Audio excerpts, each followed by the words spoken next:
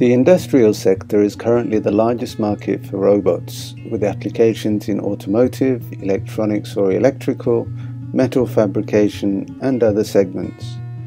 According to the International Federation of Robotics, the market for industrial robots is at record levels.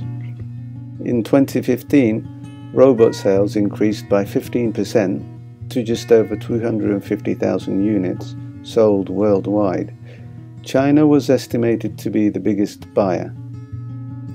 The automotive sector is by far the biggest customer for industrial robots.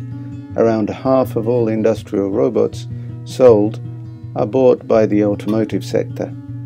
Cars themselves are increasingly becoming robotic in the sense that they are being equipped with more autonomous features and can now drive themselves.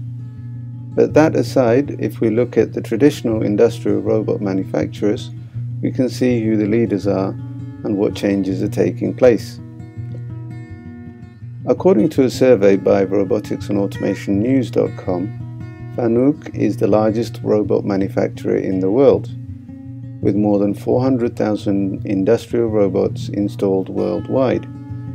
Yaskawa Motoman is second, followed by ABB and Kawasaki. One new entrant into the list this year is Universal Robots. This is interesting because Universal makes different kinds of robots. They're called collaborative robots, and they're different in the sense that they are safe enough for humans to use collaboratively. Collaborative robots have a number of safety features which make it possible for humans to work with them closely. As well as Universal, most other leading companies have now launched collaborative robot models, the most well known of which are ABB and Rethink Robotics.